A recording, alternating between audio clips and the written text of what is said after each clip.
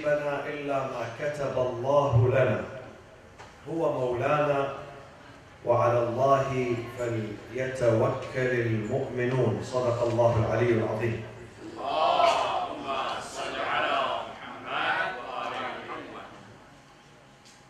The concept of al-qadr wal-qada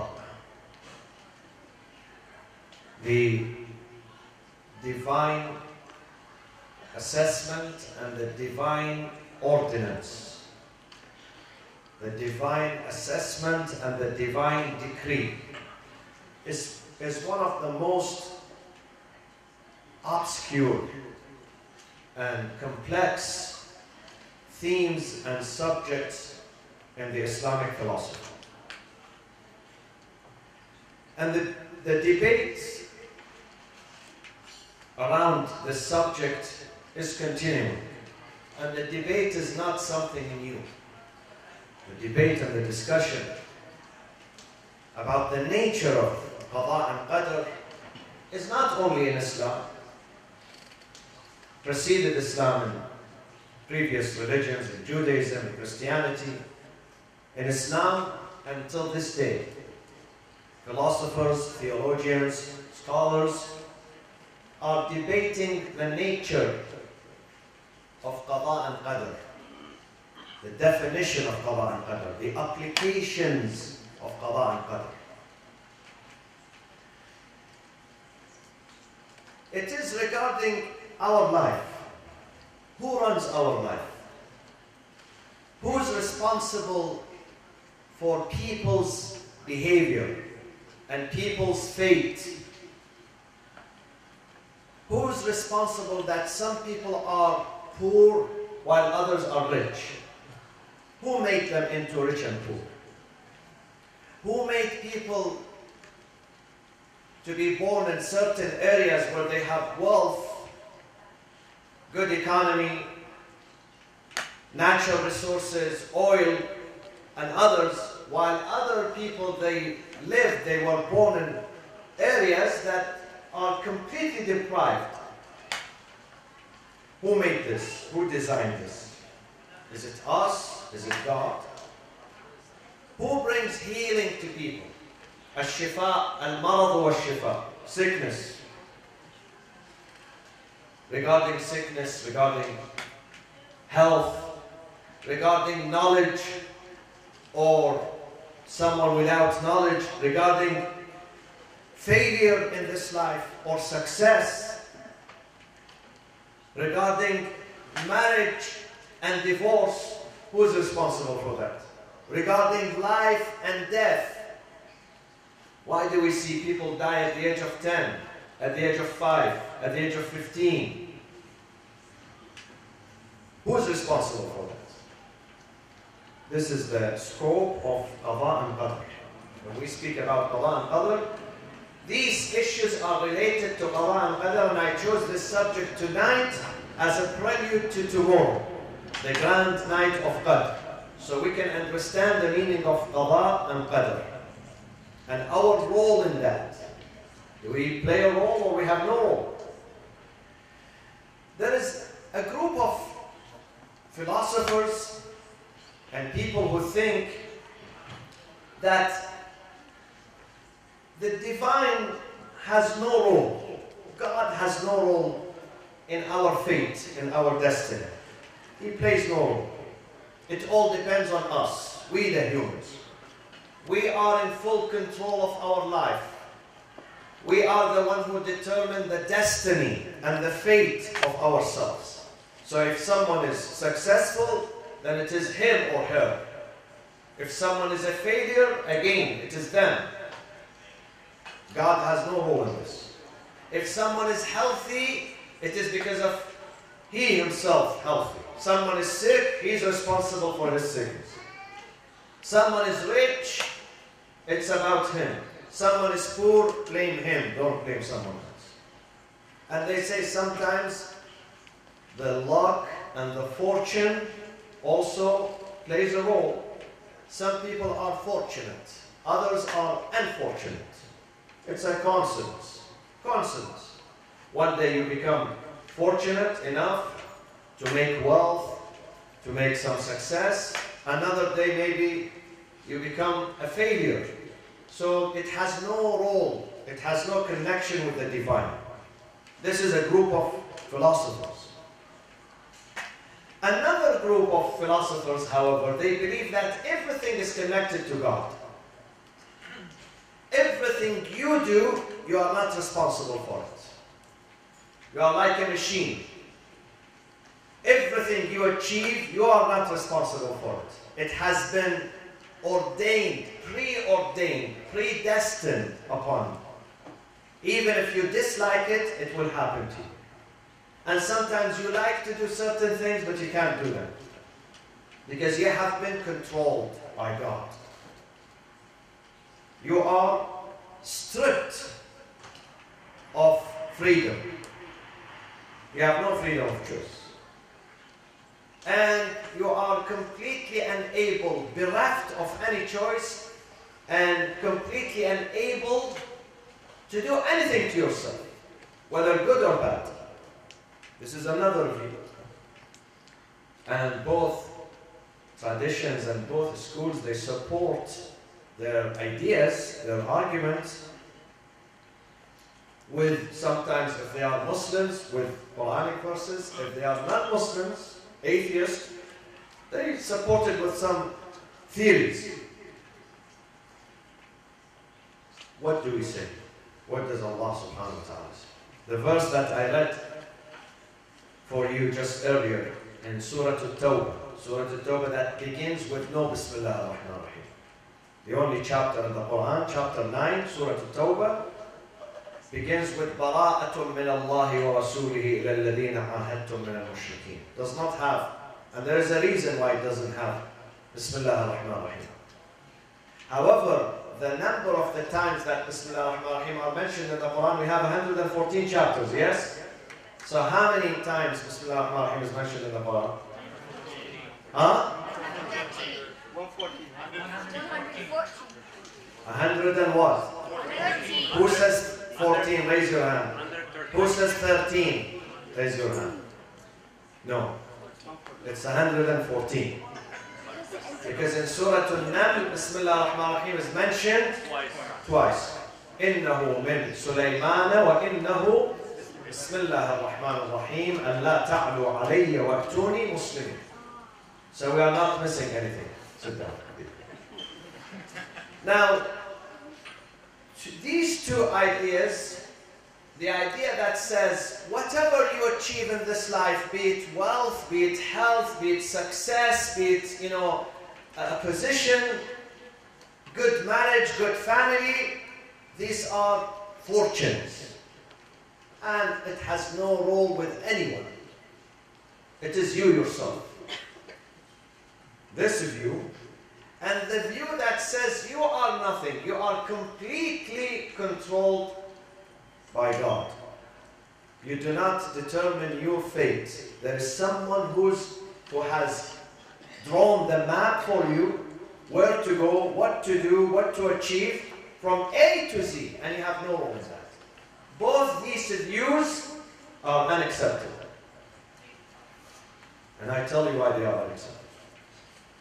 Allah subhanahu wa ta'ala says in Surah At-Tawbah, verse 51, O Prophet Muhammad, say to those who are around you, قُلْ لَن يُصِيبَنَا إِلَّا مَا كَتَبَ اللَّهُ لَنَا Nothing would befall us or afflict us or touch, touches us إِلَّا but with a decree. With a decree and the ordinance. إِلَّا مَا كَتَبَ اللَّهُ لَنَا God has decreed this upon us. هو مولانا. He is our leader, our guardian. وعلى الله فليتوكل المتوكلون. Therefore, مؤمنون. Therefore, believers must put their trust in God. Now, what does this say? When you hear this, then you're going to say, then this is true. We, we have no control because everything we do, everything happens to us, it's by divine decree.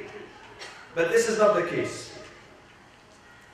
The case is that we have role, we have a role and God has a role. We both play a role. We are humans. We have been endowed with someone, something called reason, aql. And God's and God wants us to understand Him and reach out to Him and communicate with Him through reason. God wants us to make the choice. He has given us the choice. He could have taken the act from us and He says, enjoy your life here for 70, 80, 90 years. Enjoy hayatul dunya, this lower life. Then I will send you, ship you with whatever to paradise. He could have done this. He created a big paradise. He has no shortages of space there, believe me. Huge paradise. So he could say, none you is going to be punished. Enjoy your life here. Eat, drink, have fun. I'll take you there. But he said, no, I'm not going to do this. Because this defeats the purpose. I brought you into this life. I could have taken you to Jannah. Why he created the earth? Why we are here on earth? Couldn't he take us to, to paradise right away, bypassing the earth? He said, No, I'm not going to do that that defeats the purpose. I want you to deserve the paradise. How do we deserve it? Through passing the test. Where? Here on earth. I put you here on earth to go through tests. Imtihan, bala. Tabarak al-Ladhi, one of the most powerful verses in the Quran. Surah Tabarak, Surah Al-Mulk. Tabarak al-Ladhi biyadihi al-Mulk.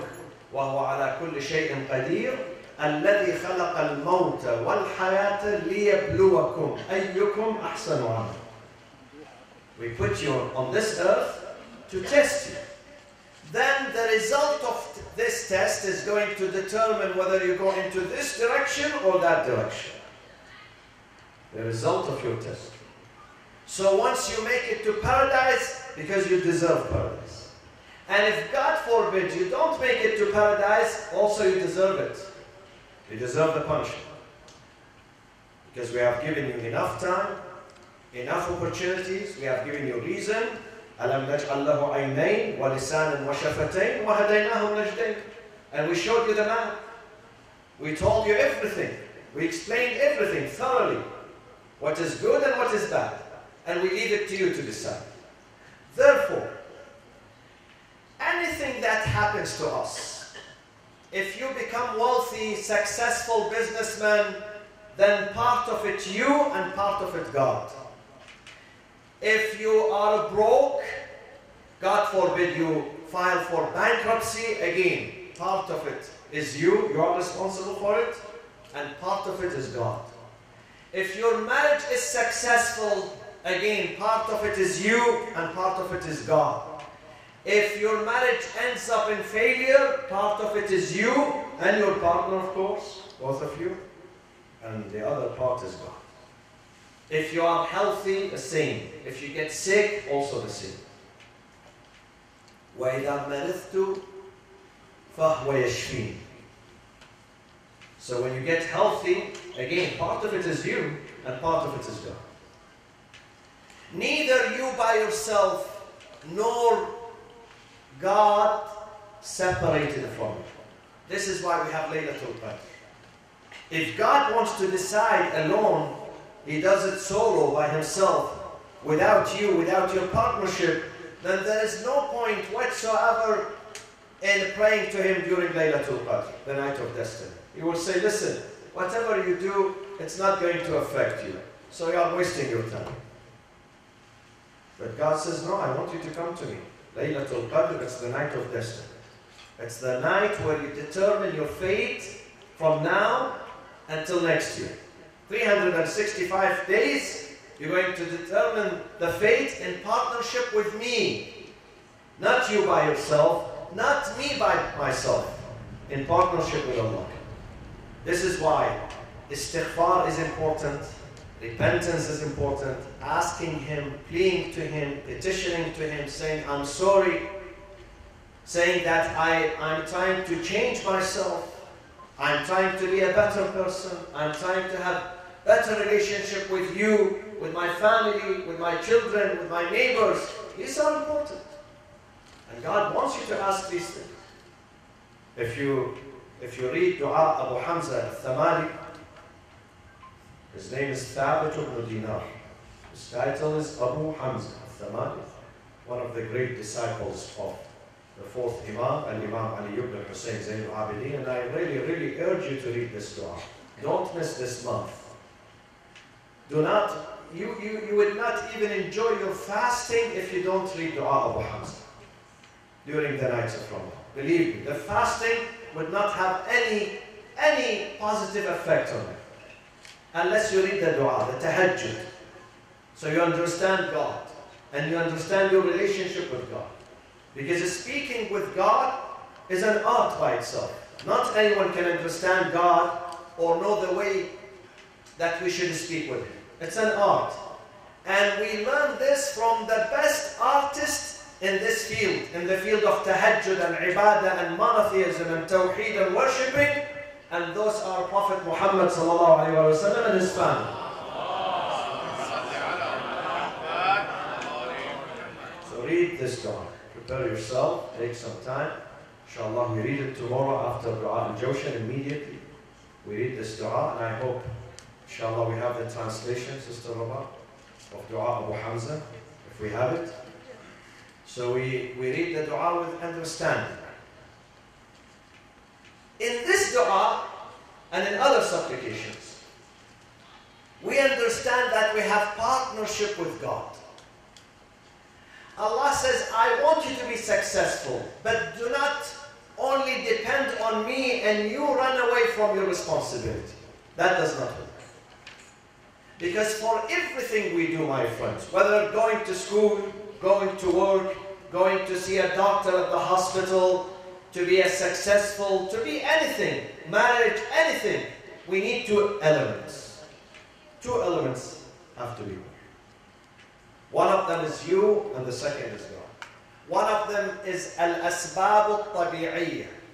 The second, al-asbab al-tabi'iyya versus what? Huh? Ghaybiyya. Tabi'iyya is our natural reasons. So in order for you to graduate with an honor degree, you have to study well. You have to spend your time.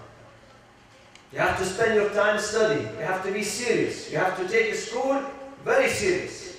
This is al-asbab al-tabi'iyya, natural causes, natural reasons. However, there is something above them which is al-asbab al-ghaybiyya. Reasons that are unseen, we don't see them. Ghaybiyya, metaphysical. Not physical, but metaphysical. And this is the support and the help of God. This is why. Go to school, do very well, prepare yourself, study very well, at the same time say, Ya Allah, I need you. I did my part. I did not my part. Without any shortcomings. I did my part, but still I am not alone enough. My work alone is not enough. I need your help. Some people, they take care of the first part, they forget about the second part. He says, I don't need God.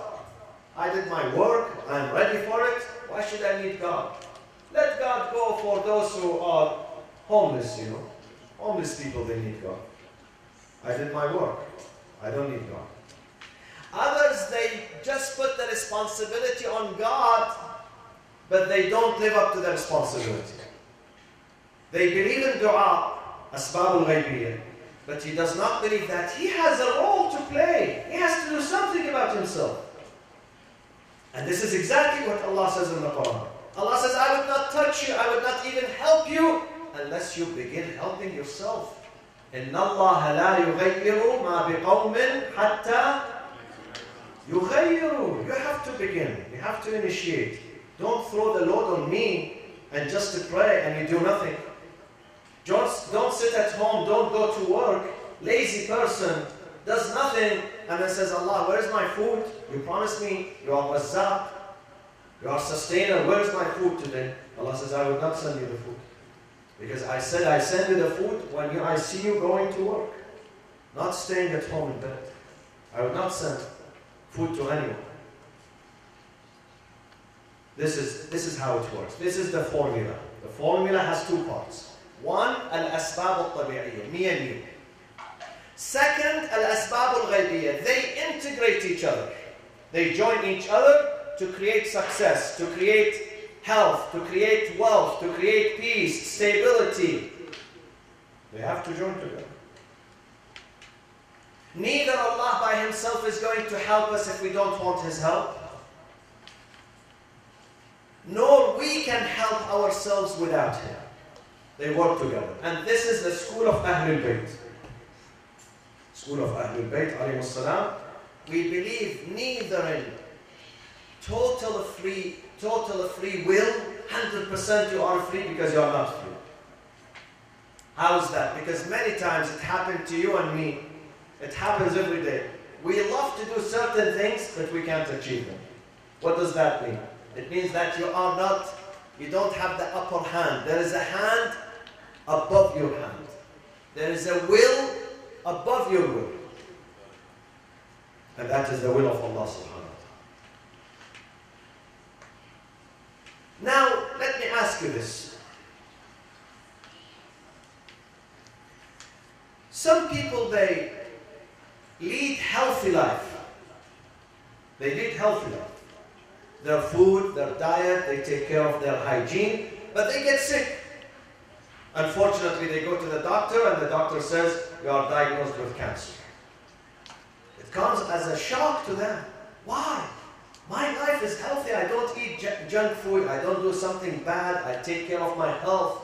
I never smoked. I never did a drug. I never drunk. I never did this, did that. Why me? Another example. I'll give you the answer. Another example. Someone who is very good with his family. A father, a mother that are super good in the family. Their manners, their akhlaq, their humility, their patience. But all of a sudden you have a divorce in that family. Why? This person is good. She's very good. She didn't do something bad. He didn't do something bad. He's not an evil person. He tries to accommodate his family. She tries to take care of her family. Then why divorce? Why this is happening? Another example. Someone who's really sincere, hardworking. He never misses any day of work. He tries to go to, to work. He shows on time. He's very sincere, but he's always broke. Always in debt. Financially, he's not doing well. Not because he's lazy. He's not lazy. He's doing his share. But he's still, has financial difficulties. So, what is the reason? Where is justice here? People ask, where is justice? Where is God here? Didn't God say, you study very well, I will support you, take care of your family, I will maintain your family for you, go to work, I will send you rizq. Then, then where, where, where is he here? Where is he with this family? Here, there is something called alamul ghayb. There are some calculations being done there, sometimes above our understanding. Allah says, I look at you from an angle that is bigger from the angle that you look at yourself. And this is found in Surah Al-Isra. Sometimes we love certain things for ourselves, but it doesn't happen. We keep asking Him, please, please, Lord, please listen to me, please. He doesn't listen.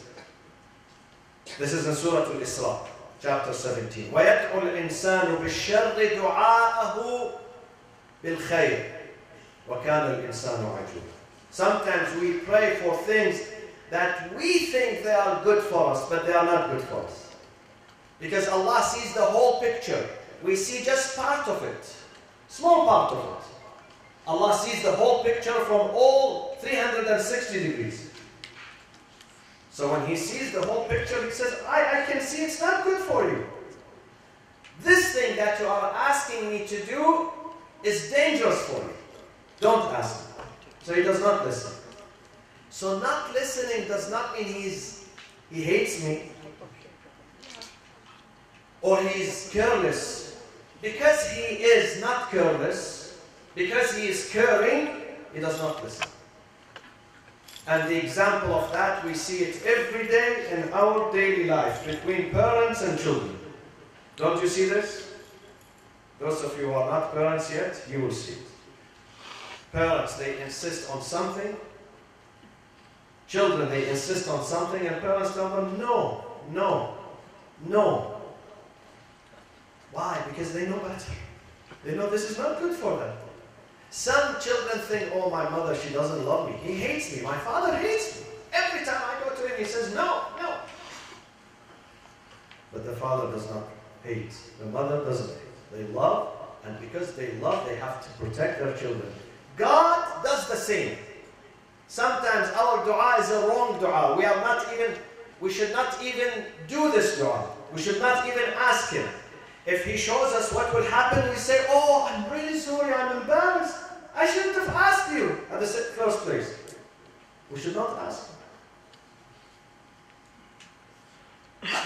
Why some people die at the age of 15, 20, 30, 40, they are still young? Why? Because Allah says, I see a bigger picture. This is also in Surah Al-Kahf. A boy that was murdered, a boy of 10 or 12, according to the interpreters of the Quran. Some of them they say he was 10, some of them they say he was 12. Al-Khidr comes and immediately he enters the city and like Daesh, ISIS. Immediately. Not me. Huh? Not Khidr me. Al-Khidr, the Prophet. So Musa gets very, he gets shocked. Ya Khidr, what are you doing here? Peaceful boy playing with the kids. You come and murder him? He says, because you don't know. You asked me to show you something mysterious. So wait for me. I'll explain it to you. And then he explained it to him. He says, this little boy that you saw him, he has a potential of becoming Abu Bakr al-Baghdadi the biggest murderer, the biggest corrupt. You, you, saw him now at the age of 10. He's nice playing with kids. But Allah sees 50 years, 70 years, 90 years down the road. Allah knows the best. So we wanted to save his parents the trouble. Now we took it, we took him from his parents be, be, before he becomes evil to save him, to save him so he doesn't go to hellfire and also to save his parents, and we replace them with a better person. Are you with me?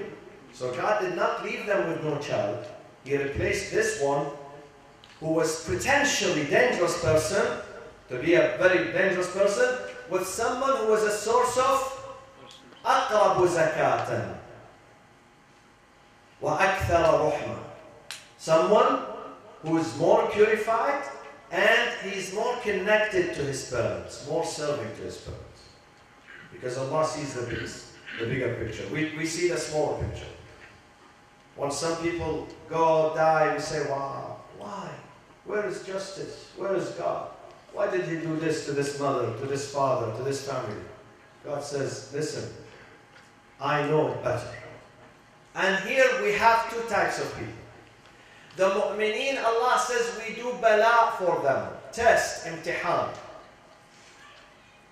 We test them with these tests. With a loss, with sickness, with failure here, with divorce there, with the son running away from the family, with the shop being robbed, with, with this, with that, as bala, as a test. Because every mu'min, every believer has to be put to test in this life. Every single moment. We would not leave this life until we are tested.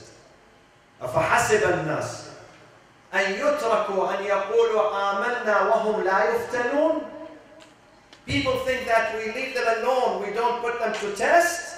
ولقد فتنا الذين من قبلهم فلا يعلمن الله الذين صدقوا ولا يعلمن الكاذبين. Through test, Allah, Allah wants us to know. He knows. Without testing us, He knows the result. But He wants us to know where we stand vis-a-vis Him. Whether we reject Him at that time, at the time of loss, we become angry and we say, God, why did you do this to me? I'm not going to talk to you anymore. Or we're going to say, Inna lillahi wa inna ilayhi. I surrender to God. This is His will. He knows better. He's more compassionate than me. God is more compassionate to the babies than their mothers and their fathers and their family members. It's a test. So for the believers, it's an ibtila and test. For non-believers, it's what? Can you tell me? It's a punishment. It's a wake-up call. It's a wake-up call. Some tyrants, they, they need a wake-up call. So Allah shakes them, shakes the very foundations of them.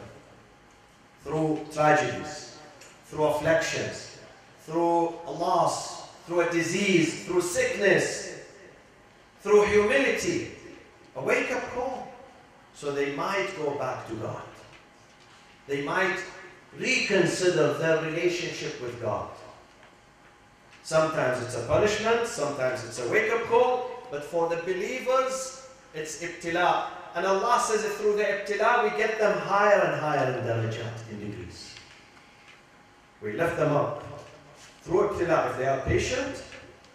One day, Imam Ali had a, a friend, a disciple, who had one son, only one son. And the son was near to his father, dear, near to his father, and the son got sick and died. Imam Ali said to him, Ya hada, إن صبرت جرى عليك البلاء وأنت مأجور وإن جزعت جرى عليك البلاء وأنت مأزور Allah decided to put you to test. You can't run away from this. So if you accept this test and surrender to God and say, Inna lillahi wa inna ilayhi raji'un, you accept this reality, that that was God's decision and He knows the best. He gave you this son today. He says, after 10 years, 20 years, I want to bring him back to me. So don't object. If you accept that, جَرَى عَلَيْكَ الْبَلَاءُ وَأَنْتَ مَأْجُورٌ You receive ajr, reward. But if you jazi't, إذا jazi't, if you reject, if you complain, if you start yelling at God, جَرَى عَلَيْكَ الْبَلَاءُ وَأَنْتَ مَأْزُورٌ Not only are you going to lose your son, you're going to lose your reward too. So this is your choice. But Allah says the good believers, they accept what, what I decide for them. They accept. the reason why we have to pray and fast and read Quran and Dua to prepare ourselves for the future. Not for what happened in the past. What will come in the future. You never know what happens tomorrow. Tonight ended, 21st of Ramadan. Tomorrow is the 22nd. What will happen to me, I don't know. Next month, I don't know. Next year, I don't know. What will happen to me, I really don't know.